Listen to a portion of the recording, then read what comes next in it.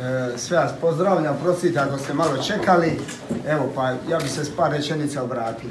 Prije svega čestitam gospodinu Puljku na izbornoj pobjedi. Mi kao najjača politička opcija u gradskom vijeću ćemo nastaviti rad u opoziciji. Kroz rad u gradskom vijeću ćemo dati naš politički obor našem gradu i boljitku našeg grada.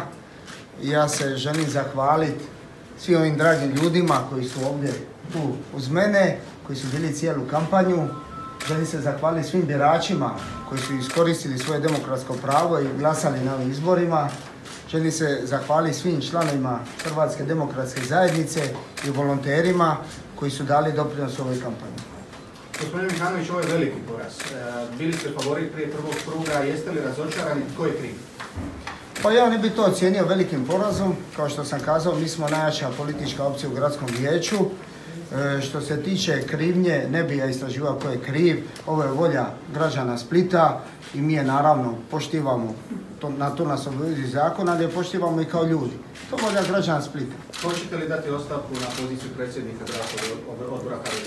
Ne, mislim da nema razloga za moju ostavku. Mi smo odradili jednu konkretnu i korektnu kampanju koja polučira rezultate u gradskom vijeću bolje. e, Ali ste vi osobno izgubili? izgubili. A da, izgubio sam, da. Znači nemate vlastitu odgovornost, ne osjećate?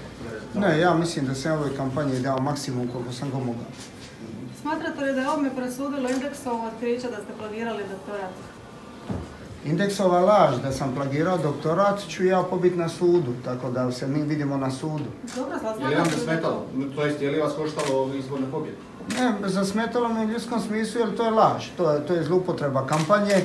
Indeks se svrstao na stranu kandidata i oni su išli odmah u startu sa podmetanjima i lažima, ali to ćemo raščistiti na Zašto sudu. to ne demantirate činjenicama? Sve sam demantirao, a sud je tu sada kaže svoju riječ. Ali Zadnji. činjenicama. Biće, doće vrijeme, vidimo se na Konkretni, sudu. kao što vam je slogan konkretno. Pa bit će vremena, ne bojte se. Konkretne sam radnje poduzeo tako što sam tužio portal Indeks za njihove objede i pobjedit ću i na sudu i to ću to kazati. HDZ jako loše stoji, mislim lošije nego što je stajao do sada u cijeloj Dalmaciji. E, Što je razlog tome? Je li možda vidite razlog u e, nacionalnom e, HDZ-u koji vam nije pružao e, podršku? Zašto HDZ je bio, imao Dalmaciju kao svoj bastion, sada to više izgleda nije tako, puno je rupa i puno problema.